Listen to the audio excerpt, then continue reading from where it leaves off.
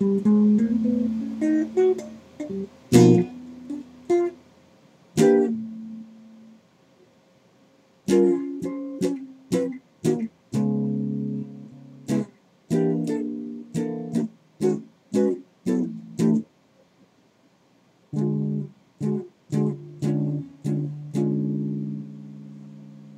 bless you out there, Global Christian friends. We give God the honor, the glory, and the praise.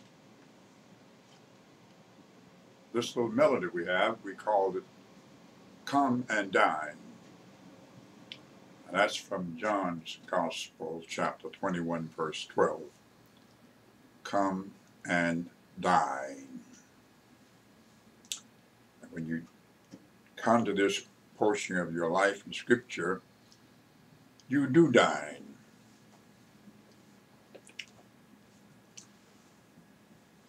the thing that we teach can be taken into a higher realm always,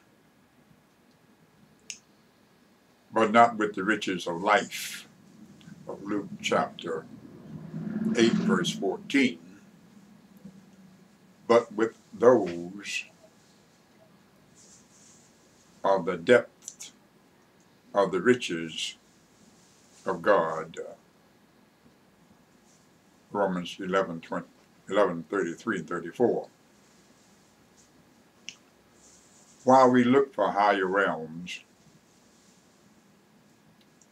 as we welcome you to the realm of the Spirit, for the spirits of just men are made perfect according to Scriptures, we welcome you. The riches of life can and have taken man and machines beyond the orbit of the planet Earth. But with these accomplishments of space travel and rocket science today, be those unseen, unheard, and unconceived things of the heart of 1 Corinthians chapter 2, verse 9, I have not seen, ear have not heard, neither entered as yet then to the hearts of men the things of today, such as rocketry and space travel beyond the orbit of the planet Earth, which God had prepared.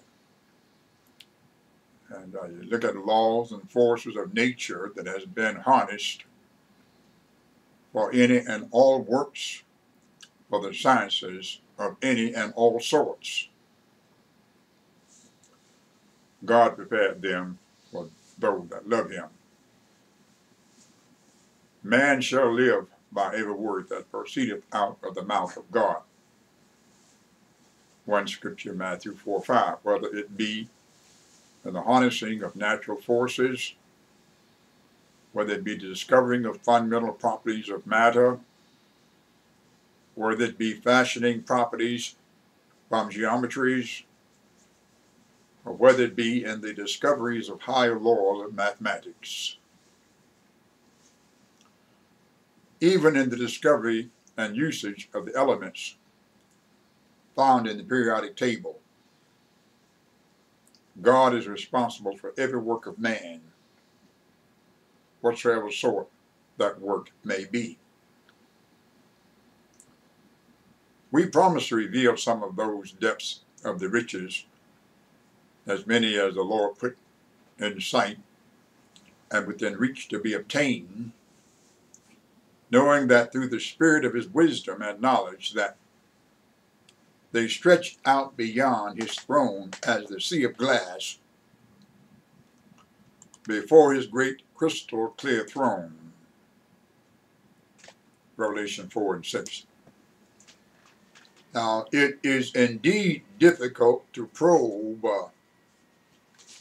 the depth and riches both of the wisdom, Proverbs, keep that in mind, 8, 27 through 30, and knowledge, Isaiah 21 and 5, 25 and 1, of God. But if you are made partakers of the Holy Ghost, Hebrews 6 and 4, who teaches with the highest anointing, 1 John 2 and 2 7, by comparing spiritual things with spiritual, 1 Corinthians chapter 2, verse 13, since you are made partakers of the Holy Ghost, Hebrews 6 and 4, you must have the same spiritual ability of that of the Holy Ghost in order to prove or to probe, P-R-O-B-E, the deep things of God, 1 Corinthians chapter 2, verse 10, since they are spiritually discerned, 1 Corinthians chapter 2, verse 14. We've already said that God is already revealing something higher and deeper than what is always obtained spiritually. And that is in keeping with what he has already done naturally with the physical universe. One prime revelation in nature is lights in the heavens. And that is for the observance of his great works, both here and abroad. Genesis chapter 1, verses 14 through 18. Being circumspective of Deuteronomy chapter 4, verse 19. And you need to read Romans chapter 1 and 20 behind that. Ancient Greece flirted with space travel, but it was only for their gods. Ancient India conceived of space travel with the introduction of machinery and weapons. The ancient Babylonians dreamed of space travel to the heavens and had plotted to obtain it through building ancient Egyptians planned for space travel and even introduced a name for a ship for their afterlife travel.